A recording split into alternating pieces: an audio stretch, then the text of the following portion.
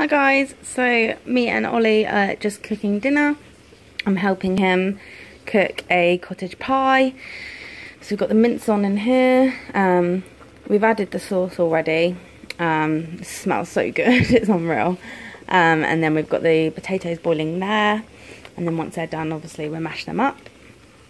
And yeah, so I'm hoping it's going to be nice. We've never made a cottage pie together before, so yeah, I'm really hoping it's going to be nice. I don't think Ollie's ever tried cottage pie either, so hopefully he'll like it.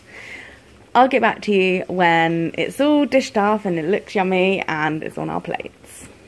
See you in a bit. Hi guys, back again, and look what's done. Oh yeah, I think that turned out quite well.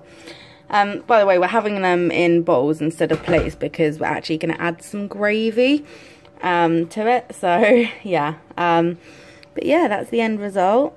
Looks quite good actually, if I say so myself. I didn't want to melt the cheese too much more because I don't really like cheese like really crispy when it's melted. I like it quite sort of soft, so yeah. So yeah, um, but yeah, that's it. So hopefully it's nice. Hopefully Ollie enjoys it.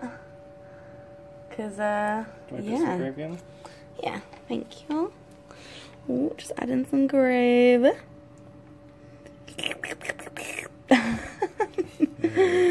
yummy, yummy in my tummy. So yeah, hope you guys enjoyed this video. If you did, smash a thumbs up.